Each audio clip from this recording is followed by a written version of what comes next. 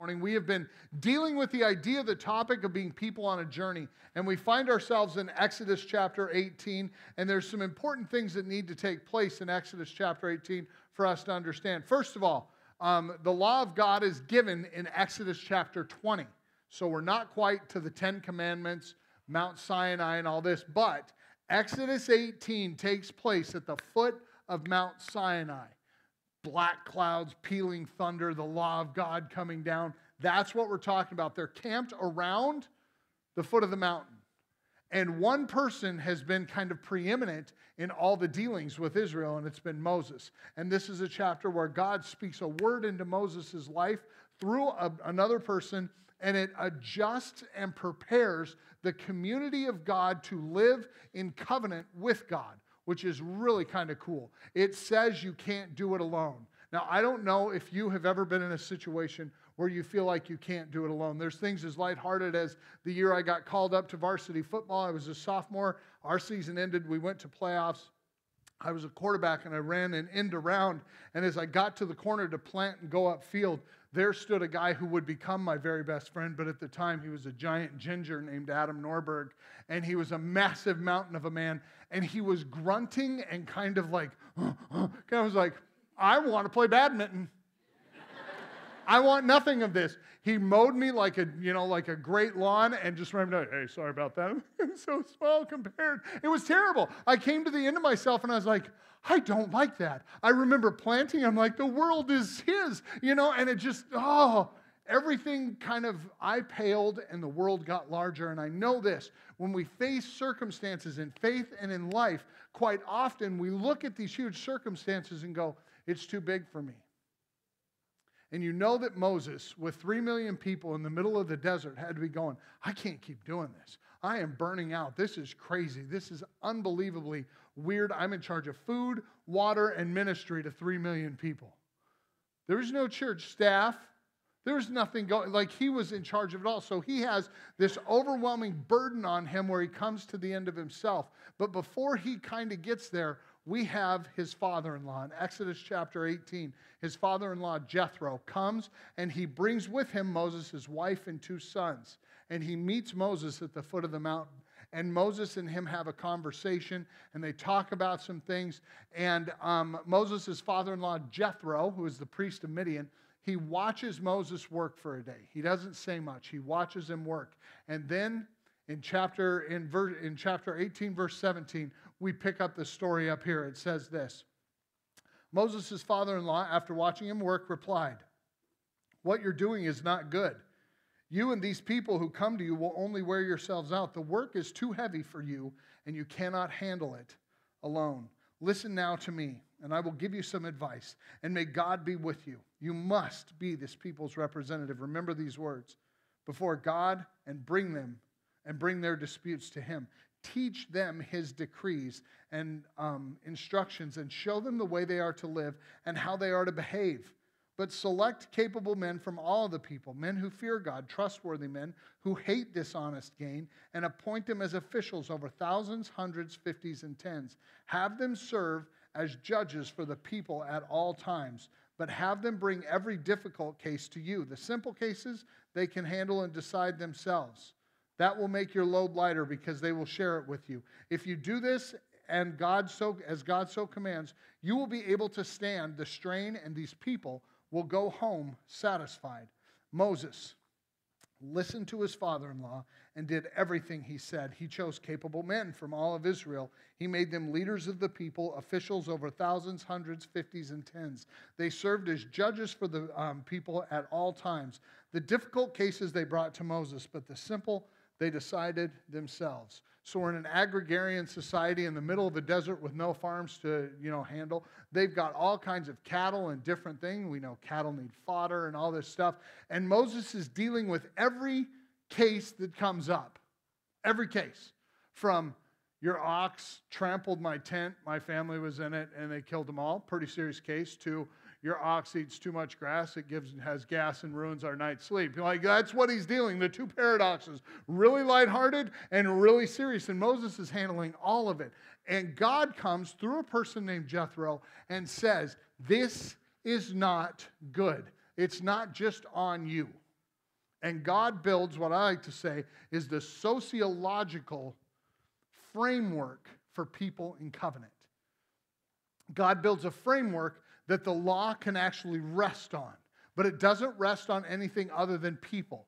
It's the engagement of the people. So we understand that God is going to now deal with his people in mass, but on an individual level as well, in the way you live and work. And when the law of God came, it was this moment where we realize God has done something great, but we should remember in Exodus 18, God prepared his people for something amazing. God was going to come into covenant with them, and in order to do that, he had to prepare a place for the covenant to set. Exodus 18, in my opinion, is a place of divine care. It's a place where um, it's a place where God gives this framework out to the out to Moses and says, "You don't have to do it all. You don't have to wake up and look at the endless line of people who have disagreements and disputes that you must settle. It's not all up to you. And for us as the church, that's an important word for us to hear. It's an important word for me to hear. It is not up to me to be the church. It is not just up to you, it is up to us to be the spirit filled, vibrant life of the church, holding together the covenant God's given us. Now, we need to separate. We live under the covenant of Christ, Christ fulfilled the law. So, as we talk today about the law and the different things, we're going to look through the lens of Exodus 18 and talk a lot through that lens about the Lord Jesus Christ and the things he did because I believe in Exodus chapter 18, God is revealing of himself natures that will be fully lived into by the Lord Jesus Christ. Jesus Christ will take the threefold office of prophet, priest, and king. And we can see in this text, God is identifying for us two of those main three, and he's leaving one conspicuously absent. So something's about to change. God's preparing to give the law, so he's preparing his people. So let's talk prophet, priest, and king. This is an important understanding for us. As Christians, we know that Jesus is our prophet, he's the priest, and he's the king. And God organizes his society with the highest ranking official, the highest amount of responsibility is given to the prophet. Moses is the prophet. He is someone who tells the truth and speaks for God. That's the highest role in the kingdom that God makes. In this community that he's creating, he gives Moses the authority of the prophet, someone who speaks the truth, but also speaks on behalf of God. And it's a critical role that we understand that um, for Moses, this is an overwhelming task. He's got to listen to God and then convey the message out to these millions of people.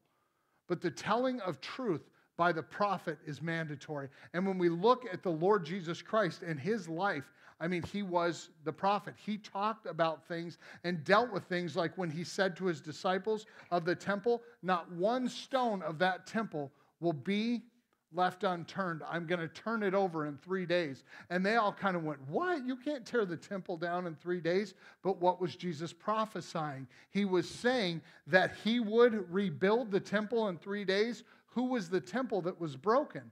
Jesus, at his death, his crucifixion, his death and resurrection, became the temple of the Holy Spirit. And us as Christians became the res- we are the temple. Do you not know that your bodies are the temple of the Spirit? So we see in this, in this prophetic nature what God's doing in Moses is a forerunner to what he's going to do in Christ. He's creating covenant with his people. So we understand that the role of the prophet and telling truth is critical for the people of God and speaking on behalf of God. The second thing is, is this Moses is um, a mediator between um, God and his people. Okay, that's that kind of thing. If we look at um, Exodus chapter 18, verse 19 and 20, I want you to hear this with me and remember this is before the law of God was given. It's kind of a, it's got to be a frustrating moment for Moses. Listen to this. It says, um, "You must be the people's representative before God, the prophetic role, and bring their disputes to Him." And then he says, "Teach them His decrees and instructions, and show them the way they are to live and how they are to behave." Who here has more than one child? Who here has ever told their kids, "Now you do this, and everything will be fine"? One kid listens, and what's the other one do? pick his nose, eat it, and run out the window. You're like, what? Oh, man. Like, it's tough to keep two kids under control. Three million people. Three million people. And he's supposed to instruct them. What does it say right here? Um, teach them God's decrees and instructions. He doesn't have the law yet. He's not been given the law. Have you ever asked somebody something and they have an invisible but still very shocking question mark over the head? They're like, oh, you know, like, wait, what? You say something to them and they don't get it. And there's like this question mark. Can you imagine the question mark over Moses' head? What decrees? What laws? We're in the wilderness. God hasn't told me this yet. Do you see the prophetic nature of his father in law, Jethro? He's acting out the prophetic role. He's saying, You've got to teach them his decrees. Moses is going, I don't have them, but they will come. They will come. God will speak into Moses' life the law of God in Exodus chapter 20. You know, love the Lord your God with all your heart, soul, mind, and strength. The, the Ten Commandments, the rest of the law will come through Moses. But before it came, Moses was prophetically given the role of prophet and priest to mediate between God and his people. And we need to understand. Well, we'll come back to that. So finally, there's one conspicuous absent role. Do you notice that there's no king over God's people in this? God never intended that his people would be ruled by a monarch because they would be God's people for God's work. In 1 Samuel chapter 8, we see the people like, We want a king. Why did they want a king? To be like, their words, not mine, all the nations around us. And Samuel is greatly offended. And God says to Samuel, Don't be mad about yourself. They're not rejecting you, they're rejecting me. Give them their king. And the book of 1st and 2nd Kings and 1st and 2nd Chronicles is a story of apostasy and greed and malevolence only seen at the monarch level when people are power hungry trying to get theirs.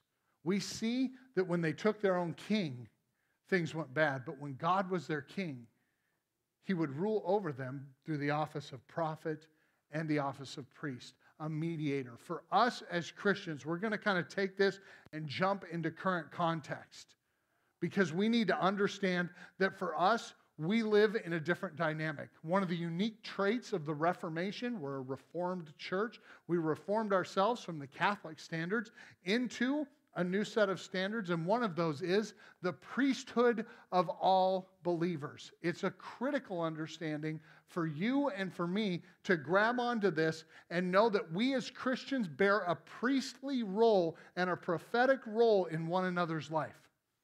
You're not supposed to just show up for an hour on Sunday and be like, wow, I really feel charged up. No, no, no. You're supposed to live differently and be filled with the Spirit to be a prophetic and priestly voice in the world around us.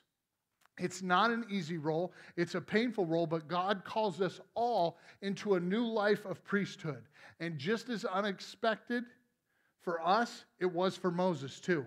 Moses wasn't ready to be a prophet and priest. He would have rather stayed with the sheep in Midian. But God called him out of it. In the same way, He's called you and I up out of our normal everyday life and into the priestly living. There is no mediator between man and God other than the Lord Jesus Christ Himself. That is the only way. Since we are saved by grace through faith, of no works of our own, but that of Jesus Christ, we recognize He is the mediator. He is the one who gives us a sense of balance. There's the judgment of God against our sin and our sinful lives, and Christ inserts himself right in between and becomes the mediator for us. He ever intercedes on our behalf, and he ever speaks to his people through his word, through prayer, and through different things. We have to understand that we, as prophets and priests of this faith, have to engage God in his word and in our prayer life so that we can do as Peter said but you are a chosen people. We have to recognize our identity a chosen people, a royal priesthood, a holy nation, God's special possession. It's an important reality that you may declare His praises, the praises of Him who has really given us this gift of taking us out of our darkness and into His wonderful light. I don't know about you, but I know for me, I have come out of a lot of darkness in my own life. There's darkness that's been in there that God has rooted up out of me. And he's done, through, done so through the priestly voice of Christians in my life, through his word and through prayer.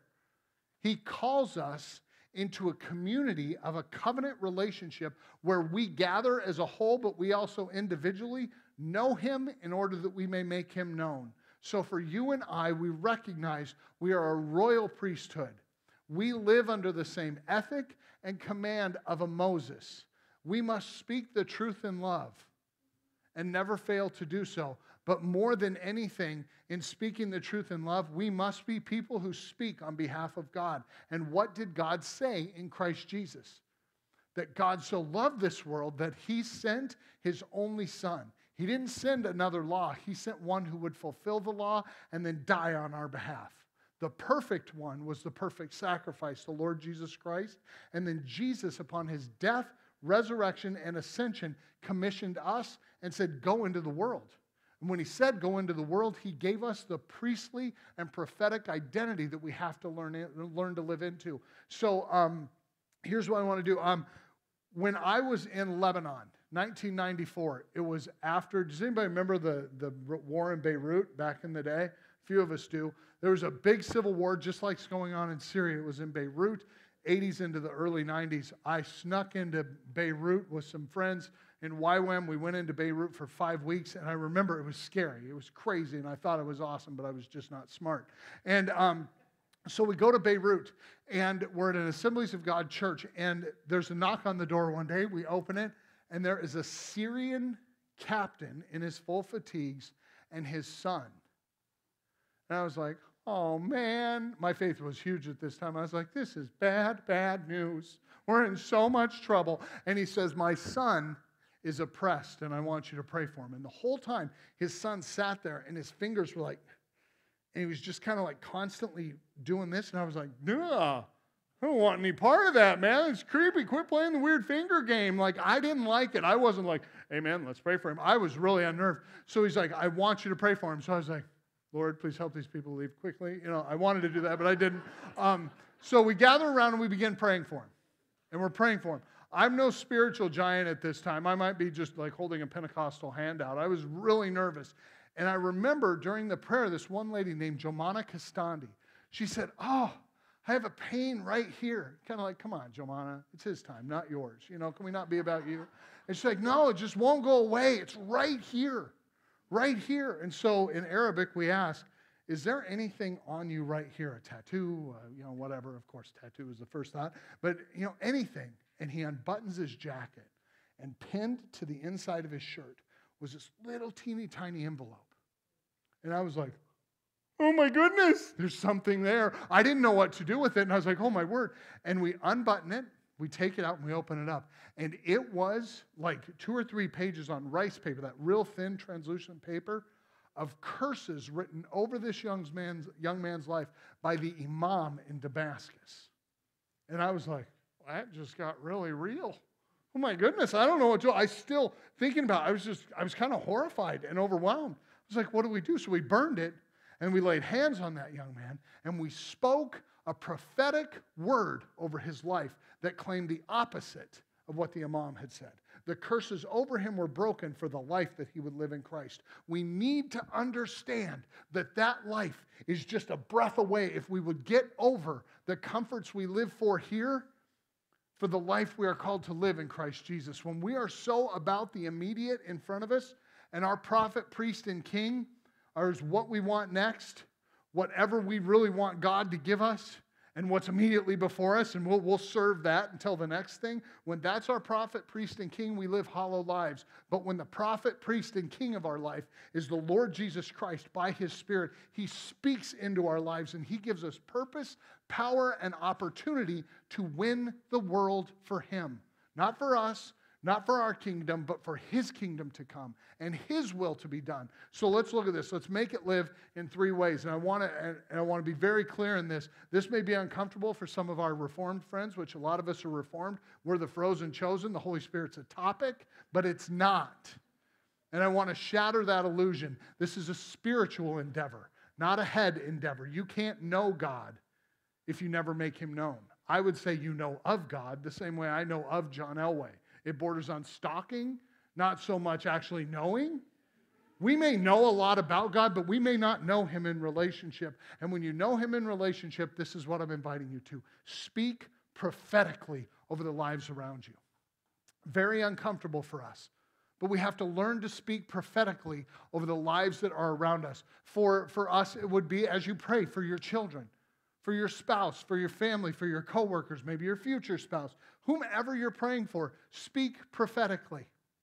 You have the Holy Spirit living within you. Bless them and speak prophetically over their life. Pray prophetically for the promises and claims of Scripture to be theirs, not for blessing and triumph and a brand new truck and fifth wheel. Don't pray for that stuff. Pray for the things that last. Pray that God's word would come alive in their life and speak over them the blessings and prophetic promises of God that He will never leave them and never let them go. If your kids are a little older and like, get away from me, don't touch me, wait till they fall asleep, then go lay your hands on them and pray for them. Pray for them and speak over them. Claim the promises of God over their life and speak the truth in love. Speak prophetically. Speak light, speak light, and speak um, order over them. Here's, and I want to go to the creation narrative. Do you, have you ever noticed the prophetic echo of Genesis 1 and 2? Have you ever noticed it?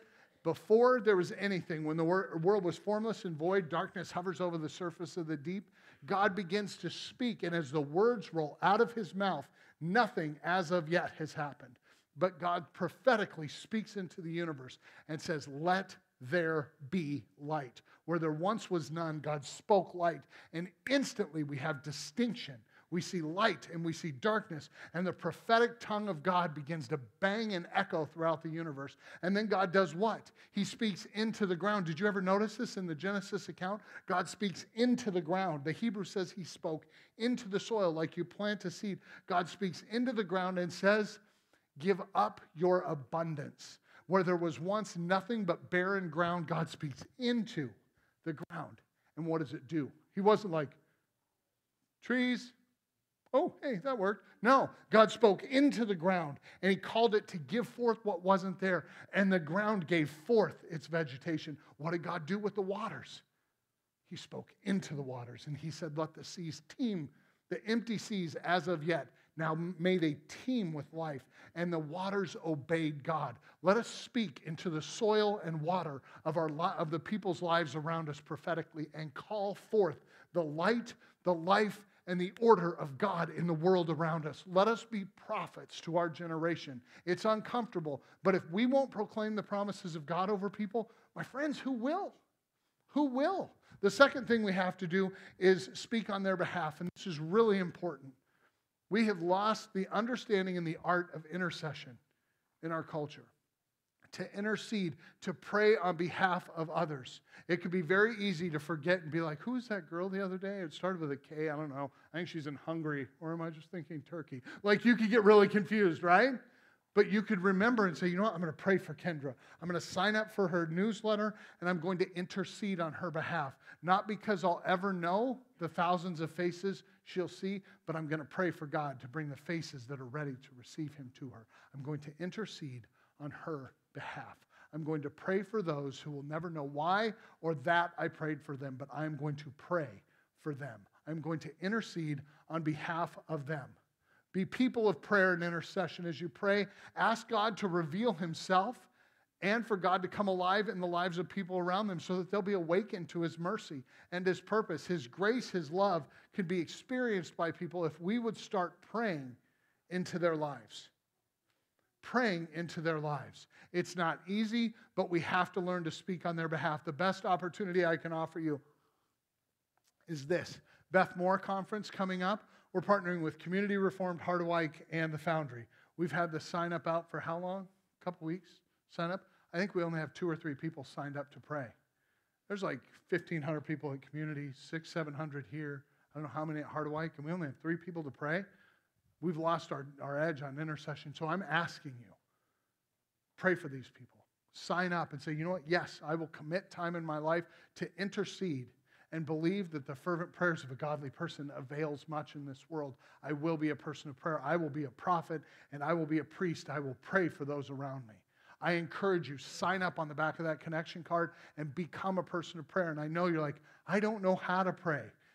Many great NFL careers started with a young man who went, I think I want to play football. I don't know how, but the team welcomed him in.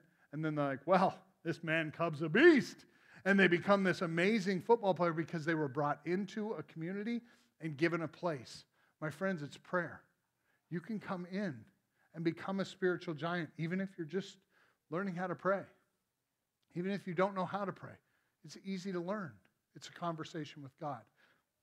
We must be people of prayer, and I invite you, sign up for that Beth Moore prayer, the being a prayer warrior for it, and learn to pray or practice praying or just be in prayer for the people there. There's people in our community who will come to Christ that weekend. Um, third thing, you got to learn to live like you're part of the whole body. We've got to learn to live like we're part of the whole body. You, um, you function, you're an individual, but you function within the body, right? And we all have our quirks, we all have our failings. Um, we're imperfect members of the body. I have my things that I struggle with, and I think it's hilarious because um, the other week, um, Scott and Heidi Nagelkirk, they know I struggle with road rage. I know it's not godly, but I struggle. And, um, and I was leaving family fair, and they come flying up on my tail, like right up on my tail. And I'm looking in the rearview mirror, and I'm like, really? Really? Like, I didn't know who they were. And so I go to look, my neck was a little stiff, so I whip around and I look back, and they're like, hey, I'm like, oh, man. They go to the church because I was going to be like, how about I give you a beating? Like, I. I was so angry. I was so ticked off. I was so embarrassed. I'm like, oh my goodness, because it shows that even for me, their pastor, and they had a good time with it. Like, remember that time you were shouting? We thought you cursed. No, I didn't. But um, but I wanted to beat on you. Like I, they, they think it's great, but it does show we can't put people on a level that they're not. We're members of a body, and the body must work together for the good of one thing the Lord Jesus Christ and Him being known by the world we're in. If we are going to be anything, let us be genuinely imperfect so that we can be genuinely redeemed into His purposes. We are part of a whole body. Do you not know that your life is not your own, but you were bought at a price? So you're part of this. Corinthians 12 12 says, Paul puts it in this way we are all members of one body the body of Christ. Paul tells us each and every one of us, we've got ears and toes and whatever parts. You've got that, whatever the analogy is to hold, but you're members of a body and you think, you know, what does it matter if a body works together well? It's the Olympics, right? Has anybody ever seen Michael Phelps do the butterfly? Isn't it cool to see that wackadoo? He's got legs that long, a torso that long, a wingspan of eight feet, and he go, does that kick, and you're like, well, that's pretty right? He's just like, we're. You're like, I'm going to do that in the pool. And then people save you because you look like you're drowning. And you're like, well, that's tougher than I thought. Or Usain Bolt comes out of the, the blocks. You're like, that dude can, that dude can run. If I had to run that fast, I would do nine flips off my chin, like rolling down. I couldn't run that fast. You look at the gymnasts, and all of a sudden, like, you know, watch this. I'm going to do three flips and two spins. And you're like, and you'll live? Like, you know, that's like something that happens when you fall off a swing. How do you do that? How do you do that? Because their body is living as a whole, every member working together for the single purpose of what? Every member working together for the glory of the Lord Jesus Christ, that he may be known out there as we know him in here. We know him in order that we can make him known. We have to live as part of the whole body. My friends, as we go into this, may we not go with any distractions. You are called to know the Lord Jesus Christ individually and corporately, so that in our living, the way we carry ourselves, people will look and say, now that is something different. We must let our light shine against the cultural demands and say, we will not look like you. We will look like the perichoresis, the divine dance, the first community, Father, Son, and Holy Spirit working together for the creation and then redemption of the world. He has called us to the very same dance. Will we dance together in that spiritual dangerousness of being faithful Christians? The question is extended to you as it is to me. But it is extended in the hope that our prophet, the Lord Jesus Christ, said he will not leave us even to the end of the age. It is spoken in the confidence of our priest, the Lord Jesus Christ, who said that if you are in me, you're a new creation. The old is gone and the new has come. And it's spoken in the hope that he is the high king of heaven. And one day, one day, the trumpet will sound and he will call all who know him as Lord and Savior back to himself. I don't have a better word for you today. Pray with me. Lord Jesus Christ, thank you for your word, for the hope that is you, that you revealed yourself in a community so that you could come and be the Lord and Savior of all. So, God, instead of our own fears and failures today, we don't pray that you would heal us of those. We pray that we would be able to have the courage to call on your name, the name that is above all names, and that we would find ourselves completely dependent, completely redeemed, and completely purposeful in the name of the Lord Jesus Christ. So come, Lord, and whisper a word of redemption in our lives, that we who are here may see and know your goodness, and in turn make that known. In Jesus' name, amen. Friends, please stand. Sing with me. The living proof of the gospel lives within you, and it is yours to go and live in such a way that compels the world to ask one question What is so inexplicably different about the purpose and the meaning of the way they live than mine? And it all re- revolves around one thing Who is your prophet? Who is your priest? And who is your king? Who is the Lord your God? And how must you serve him? My friends, as you go into this world this week, it won't be easy. Some of you might even hear the prophetic inklings of a life in missions and it may be very scary. But I want to invite you to travel down the road with God. For where He leads, there you will find the most magnificent relationship that you will ever discover. And that is knowing that the Lord Jesus Christ is not only your Savior, but He has called Himself your friend. And He will walk you every step of the way. As you go from this place, may you do so with the charge and the commission to be a prophetic voice into a world that's been cursed by far too many to be a priestly voice into the life of people who maybe didn't know that there is hope beyond the darkness they live in, and in service of the high King of heaven who has called you his very own. May the Lord bless you. May the Lord keep you. May the Lord cause his face to shine upon you. May the Lord turn his face towards you and give you his peace. In the name of the Father, Son, and Holy Spirit. My friends, you are dismissed. Have a great week.